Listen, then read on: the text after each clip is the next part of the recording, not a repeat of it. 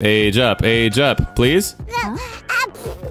oh, that's actually really cute. Oh, so this is Fearless Taylor's Wait, that's not a bait. Wait, that's not a kid. what do you mean? Oh my god.